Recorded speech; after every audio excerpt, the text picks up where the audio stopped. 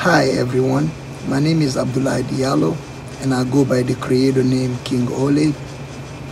I'm making this uh, uh, video for a final project for my uh, history of motion picture class.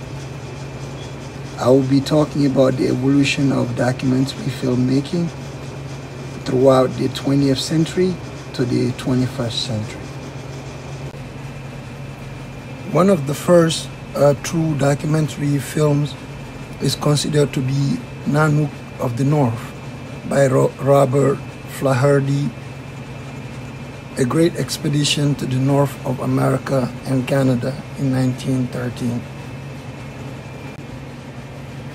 Um, one other director uh, was on the other opposite side of Robert Flaherty, which is uh, Vertov, a Soviet director who uh, was well known for his uh, uh, Kino Pravda. How you say it again, Kino Pravda. By the 1930s, the use of filmmaking for the intention of propaganda was well known. Uh, the example was uh, Sergei Eisenstein, a filmmaker maker in the Battleship of Potemkin, a well popular German uh, propaganda uh, movie maker. The star of the German industry at the time was uh, Leni Riefenstahl.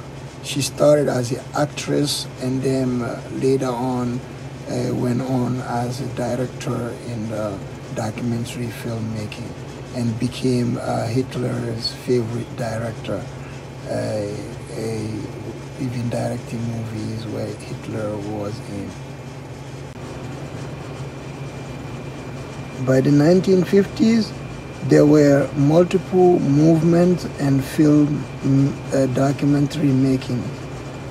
Um, and technology was changing, allowing uh, multiple people to do uh, documentary films uh, because the equipment was available and the technology was there. One movement close, uh, close to Vertov was Cinema Verite. Uh, simply put a camera in a room and watch life take place. Uh, but uh, the editing was uh, it was requiring like excessive uh, editing uh, on a ratio of uh, 1 to 100 as he says and we have the emergence of the blockbuster movies where we have directors like uh, Hitchcock who produce his greatest work uh, during uh, the period, much of it in the Vista Vision. And uh, that conclude uh, our Uh, final presentation and thank you for watching.